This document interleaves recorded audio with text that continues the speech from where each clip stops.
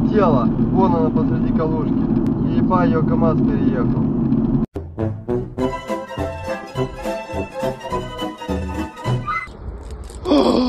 Это что, новая шашка мне в подарок? В итоге я ее вот так скотчем жестко присобачил везде. Скотч, скотч, скотч, снизу скотч. Провел проводку, теперь она у меня будет гореть хотя бы. Габаритом провел.